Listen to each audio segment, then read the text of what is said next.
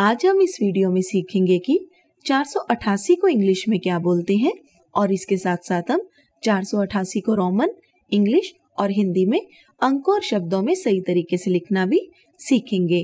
488 को इंग्लिश में हम 488 कहते हैं और इसकी स्पेलिंग होती है F O U R four H U N D R E D hundred A N D and E I G H T Y eighty E I G H T eight और Roman में 488 को C D L X X X I X लिखा जाता है।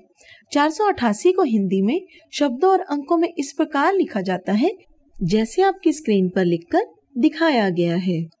ऐसे ही और videos देखते रहने के लिए हमारे चैनल को सब्सक्राइब करें। अगर आपको हमारा प्रयास पसंद आया है तो हमारी वीडियोस को लाइक करें। आपके लाइक हमारे लिए बहुत मायने रखते हैं।